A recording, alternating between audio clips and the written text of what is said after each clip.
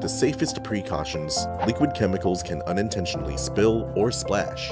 A spill kit will help you contain the spill and keep yourself and others safe from hazardous material.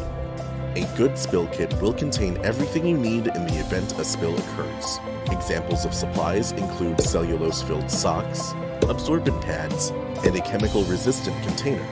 Some kits come with basic personal protective equipment, or PPE, like gloves and a respirator, but you'll often have to supply those yourself. In case a spill occurs outdoors, you may also need a shovel to dig up any dirt or chemicals may have seeped, and a broom to sweep away debris. The first step to take when a spill occurs is to always put on your PPE. Every chemical is different and may require different coverage. Chemicals that emit vapors may require full skin coverage and a respirator.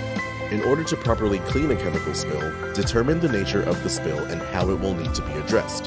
Restand a container that's fallen over, or if there's a leak in a small container, place it in a larger container. After the source of the spill has been addressed, start working on the spill itself. Start by setting a barrier to contain the spill's contents and prevent it from spreading further. Some spill kits will come with cellulose-filled socks, which are used for this purpose.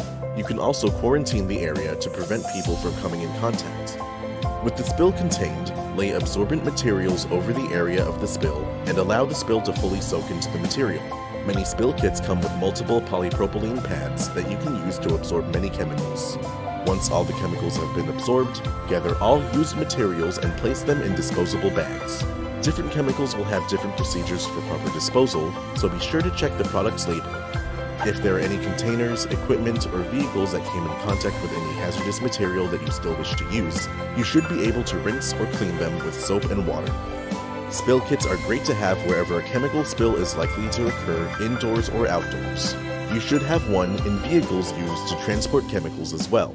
Good places to keep spill kits include warehouses, pesticide service trucks, first responder vehicles, and at home. Spill kits should be used anytime a hazardous or non-hazardous liquid is spilled or splashed indoors or outdoors. Once the chemical is spilled, immediately assess and don the proper PPE to address the spill as soon as possible. You should be able to contain the spill quickly to prevent the chemical from spreading and to limit possible exposure to people or animals. Spill kits themselves are not made with chemicals, therefore they are safe to have around children and pets, although you may still want to keep these products out of their reach. In the case of a spill, keep any children and pets away from the spill site, and always wear the proper PPE when handling chemicals. Not all spill kits are suitable for all types of chemicals. Some can handle only oils, while others should only be used to absorb water-based chemical spills.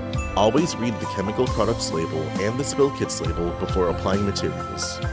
Any spill kit you own should be inspected at least once a year for any damage, degradation, or any issue that may reduce its effectiveness. Take inventory of all items included in the kit and inspect each item for defects. Anything that can hinder your spill kit's performance should be replaced immediately. Spill kits make cleaning up accidental chemical spills and splashes a safe and easy task that can be done quickly